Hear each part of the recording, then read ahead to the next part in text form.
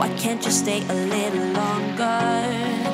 You got me, got me going under.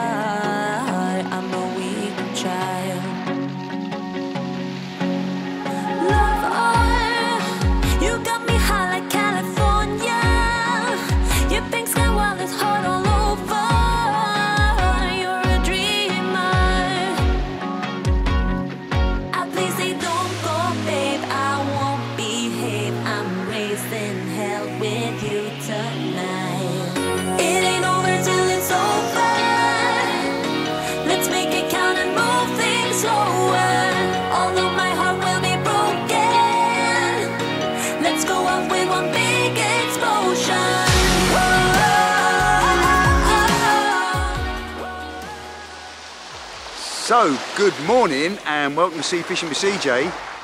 Absolute beginner's guide to catching mackerel on a budget.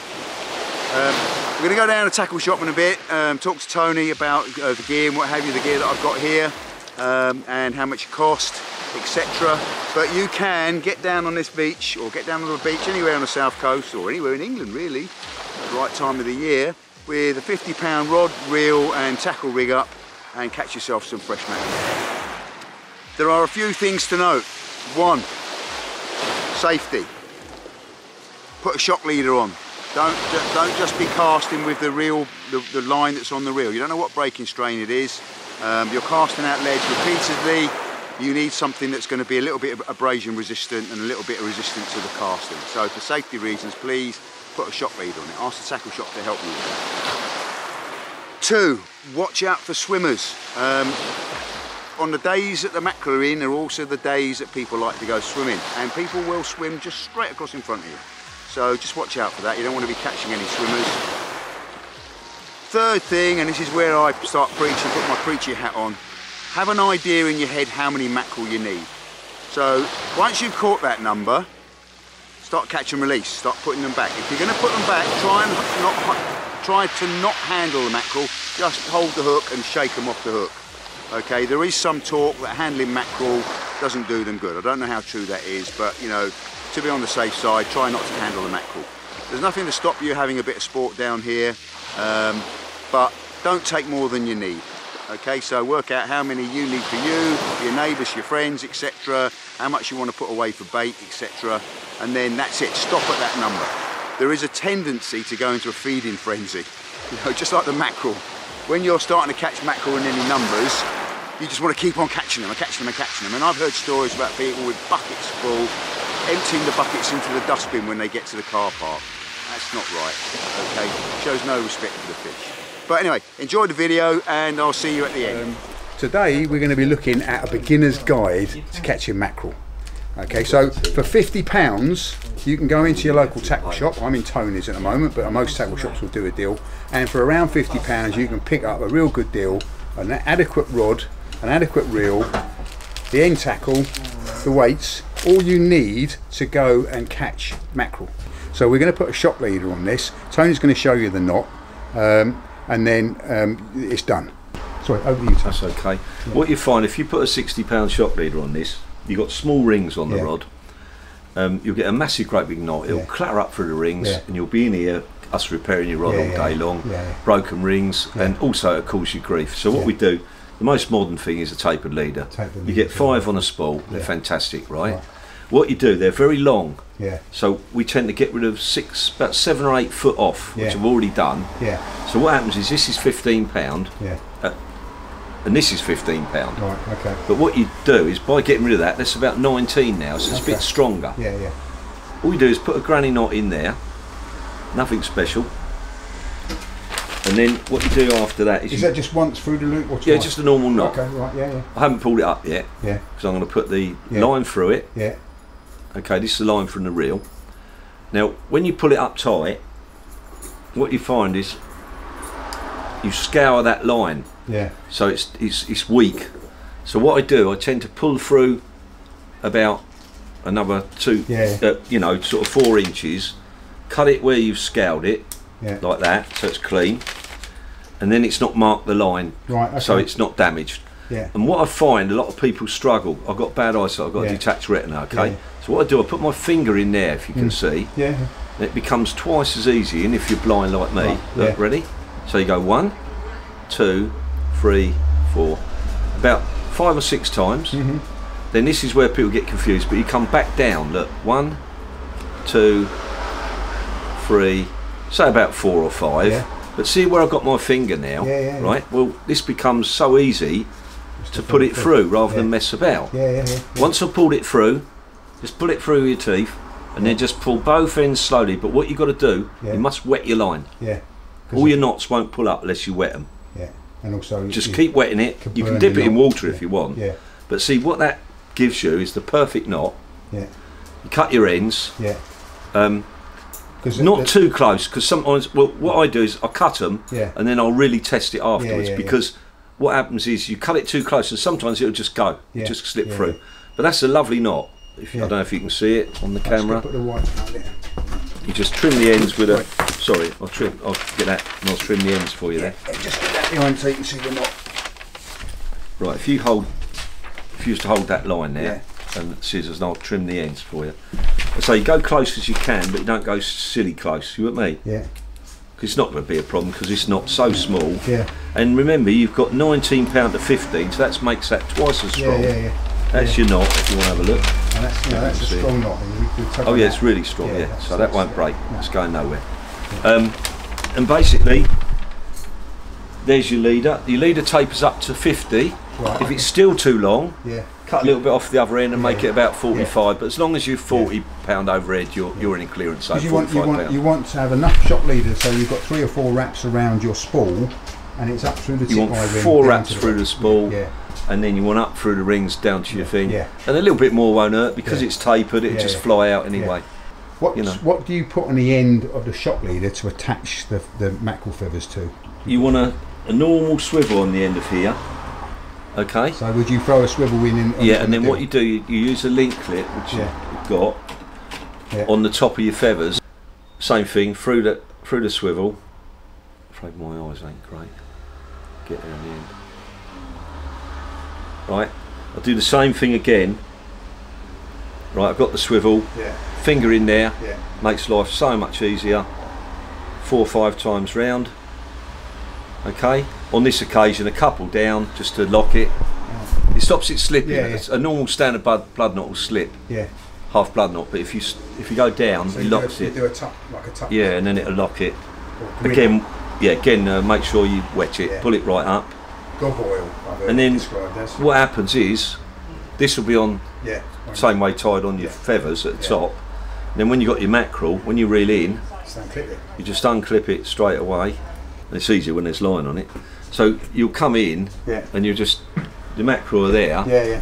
Rather than mess about getting them off, Just unclip it. unclip it, get your mate to get them off. Yeah, while and you cast out again and get some more. Why? yeah, yeah. Because they're there for a limited time. Yeah, yeah, no, they're not there all the time. Yeah, yeah, yeah. And while they're there, you've got to make make hay while the sun shines. You know. Yeah. So pretty easy. Yes, please. Right, so I'm going to get down the beach and I'm going to show it catch mackerel. Okay, so um, I've come down the beach now um, to put all this gear together. Uh, you probably see behind me there are already people fishing. Um, you need to get this time of the year. You need to get down the beach early because um, in an hour or so this beach will be full of swimmers. And um, for safety's sake, it's not a good idea to be casting mackerel feathers out amongst swimmers. So we're going to put this together and we're going to have a quick go and see if we can't catch some mackerel. So let's look at it. Look at the gear. We've got the rod in its bag. Obviously, you need to open the bag. Um, get the rod out. The, the, the rod we bought is a is a two-piece rod.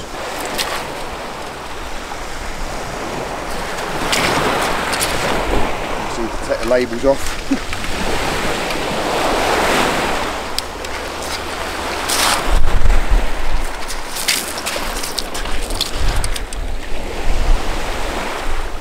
Line the eyes up.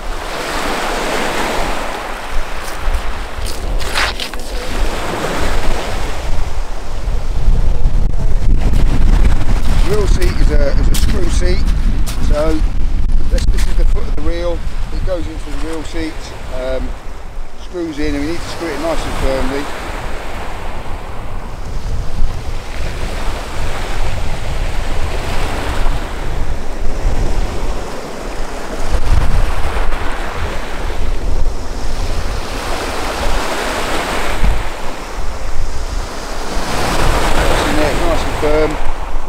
That coming, loose while, while we're casting.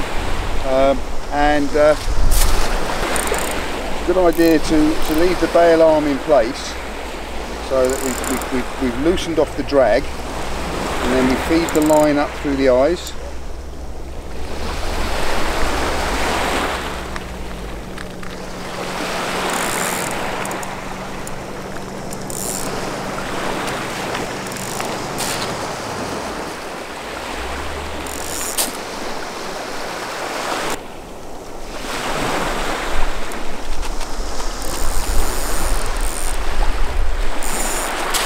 Here's a bit of line, and then we'll tighten that drag back off because we don't want we don't want um, too much loose line.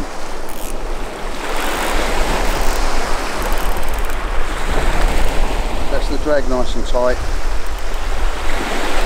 And then the mackerel feathers, we bought a couple of different types here. So we've got these um, Hokkais, which are very very attractive. Got a luminous tip to them, big red tails, um, or we've got the simple silvery ones. Now it's quite bright, so I think I'm going to try the silvery ones uh, and give those a go.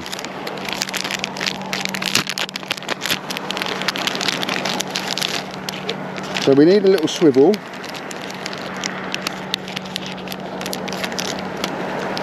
So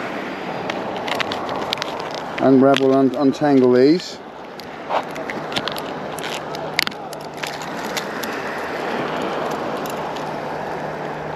They're always they're always done up in a in a tight um, bundle of line, which takes a little time to untangle.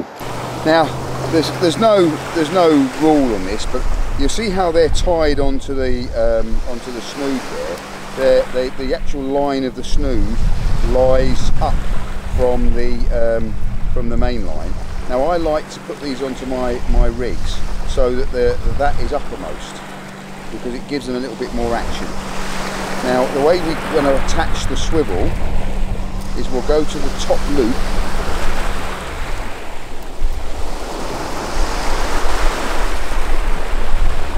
These are determined to tangle themselves up. So we'll go to the top loop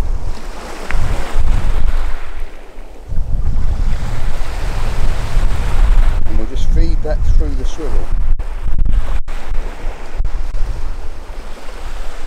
feed through the swivel and then over the back of the swivel again. So that's now looped over that swivel.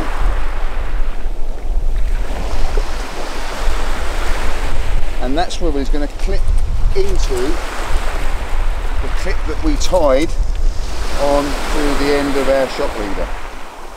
So that clips in place. So that's a part quick release. You can see how the snoods are up from that, so we've got more action on the on the on the little, little feathers. And we're going to attach the lead by the same means. We're just going to thread it through the eye of the lead, and then um, bottom loop through the eye of the lead.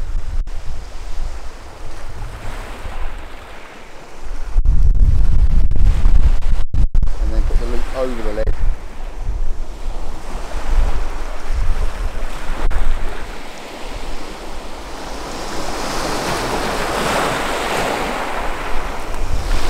So we now got the lead in place. Now I think it's a good idea just to test all the knots in this because you didn't tie this, you don't know how good those knots are. So give it a good a good pull to make sure all the knots are good. You want to do all your best efforts and then cast out and find the a lot first cast. And then we'll get on with casting it. Bring the clip up to the rod tip. So the bail arm is facing towards us. We put, take hold of the line with our finger and we hold that against the rod. And then we open the bail arm. So it's now our finger that is replacing, is, is holding the line. And then it's a very simple, easy, lazy lob. So all we're going to do is we're going to reach out behind us.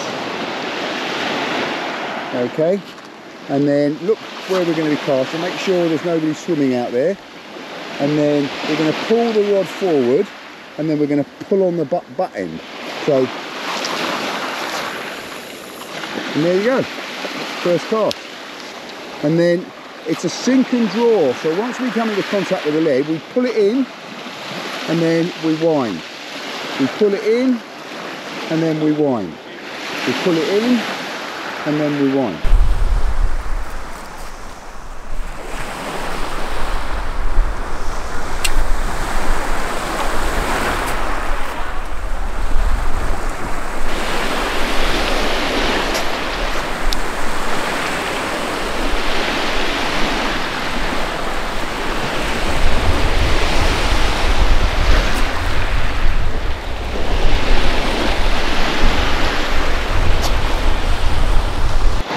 don't want any less line than this. You can see now that there's a little bit of a lip on the on the spool here.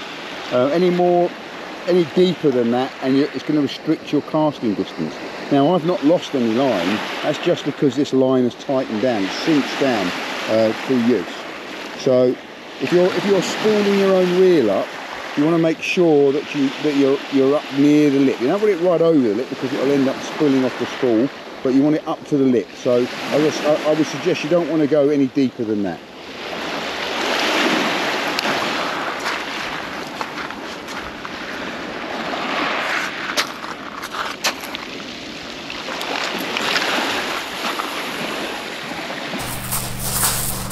Well, so I think you'll agree uh, for 50 pounds, and that's all this has cost me, a great way of spending a morning and a great way of getting your breakfast. Now, I'm not going to get my breakfast out of this today. I'm going to have to go and buy myself some bacon and make myself a bacon sandwich, but I will come back down and we will catch some mackerel. Um, you don't need to get a rod license to fish in the United Kingdom. You can go and fish off the sea. All I would ask and, and, and, and uh, is that you are safe, that you do it safely. Put a shock leader on your reel. Uh, make sure that there aren't people swimming in front of you when you're casting. Make sure that you give yourself a bit of space from the other people fishing, etc, etc. And stay safe, stay sane, stay fishing. There's lots of people down here enjoying the sunshine, enjoying the beach. There's plenty of people getting in the water now. There's paddle boarders and swimmers, and there are still people fishing. And there's lots of people here sitting, waiting for the mackerel to turn up. They will turn up. So, catch you later. Yeah, because the mackerel aren't always here, so they come and go. Um, tend to be driving the whitebait ahead of them. So don't just think that you've come down and you've not caught anything, there's something wrong. If the fish aren't in front of you, you're not going to catch them. Um, I've had a few casts today, slightly different day, overcast, but the sea's nice and calm and the water clarity is amazing. But um, the mackerel aren't showing up. That's not to say that in an hour's time they don't suddenly appear. So you do have to persevere and you keep on trying until you start catching fish.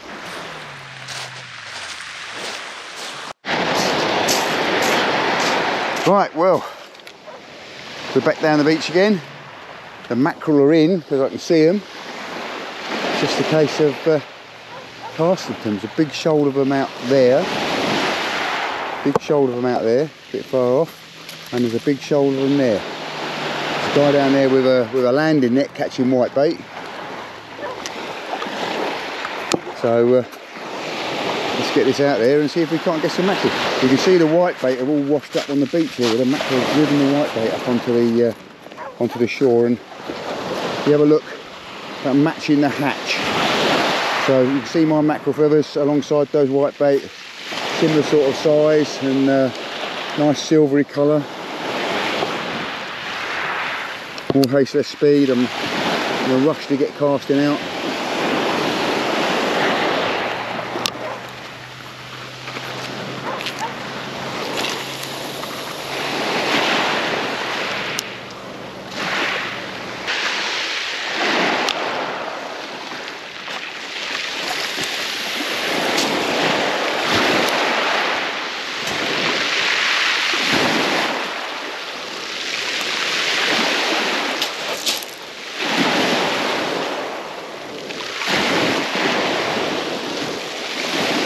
Here we go. There we go. Woohoo!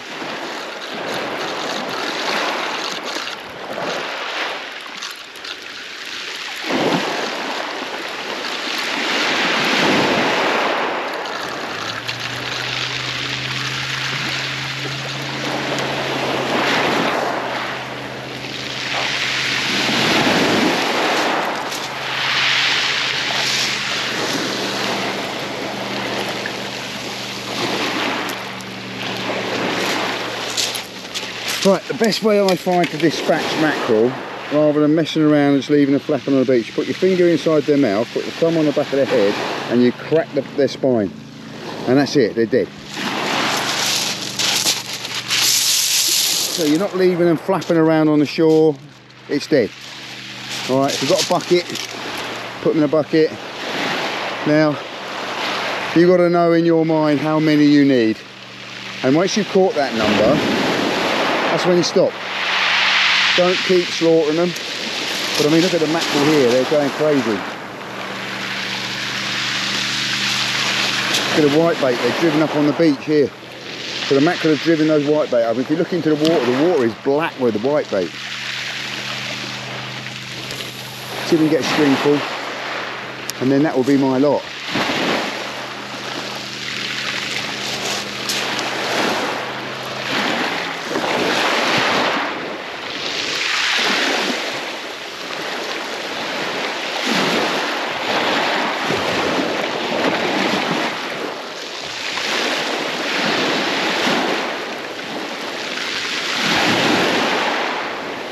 Moving along the beach here now.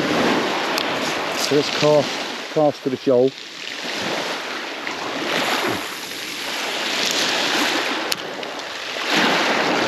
And there, straight on, straight on to mackerel. Hit, hit it as the lures hit the water, I'm into mackerel. And I think I've probably got several on here now. That's definitely putting a bend in this rod.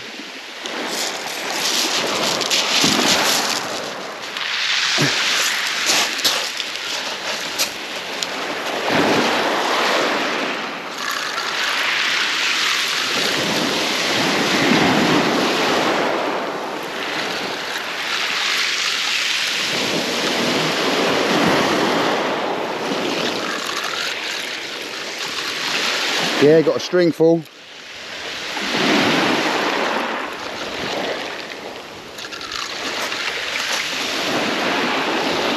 And this is what happens if you if you don't wind them straight in, is they swim around each other and uh, you end up with a bit of a tangle. You see, uh,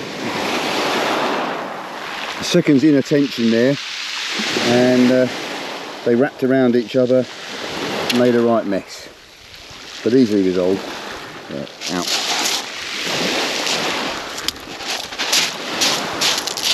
And as soon, as quick as they appeared, they're not there anymore. So what a cracking start to the day, all right? Got down here, all I've spent is 50 pounds, all right? 50 pounds for a cheap rod, red and rig setup. Um, most tackle shops will do you that sort of deal. Um, see what else they'll throw in. I mean, I got two sets of mackerel feathers as well. Um, and weights and swivels and little bits and bobs and uh, the tackle shop very kindly put a um, shock leader on there for me. I can't, I can't, I can't reiterate how important it is to have that shock leader because you're casting backwards and forwards out there. It just stops you cracking off and injuring something. And I've got enough mackerel here for my breakfast. So happy days. When the mackerel are in like this, you can take the mackerel feathers off and just put a lure on. Much more fun a lot, lot more selective, you're not catching lots and lots of fish and there's a little bit of skill involved in that. So this rod will handle quite a reasonable lure. Uh, get yourself a few um, nice lures, we'll perhaps talk about those in another video and come down here lure fishing for mackerel, that's when it really gets fun. I'm going home to have mackerel with my breakfast now, so I'll catch you all later. So we're just walking back and here's Tom, he's, he's having a go for some and he's got a few on. Now obviously he's not fishing with a budget set up, he's got a good, uh, you know, a good set. But there you go. Nice couple of big. carp rod.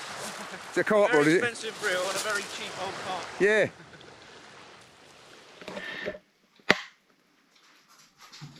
So we're going to have a quick look at how I prepare mackerel for uh, a quick meal. Now, you can just gut them and cook them whole, to be quite honest, and eat them off the bone, and that's, that's a perfectly adequate way of doing it, and it's probably one of my favourite ways of doing it. But what I'm going to do is I'm going to prepare these so that they're almost boneless.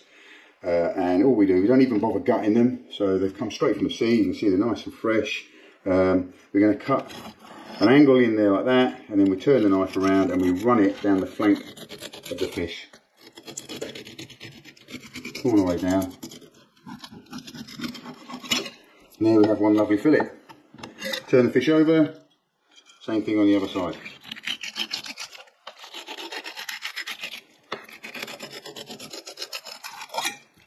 Another lovely fillet. I'm going to discard that. Now there are there are still some bones in this, so the rib cage is still intact here. So all we're going to do is take that sharp knife and we're just going to run it underneath those ribs and cut that piece of flesh out. So there's a tiny bit of wastage there, but um, it means we are getting rid of the bone. Same thing on that side.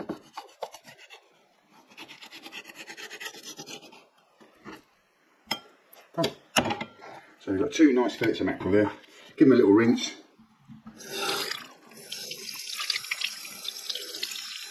a little rinse and straight onto the, the grill.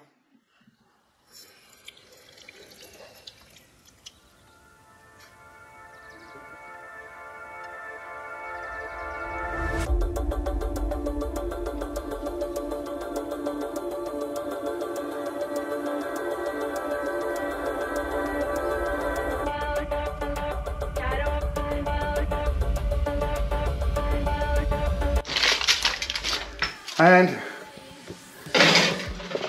into the grill.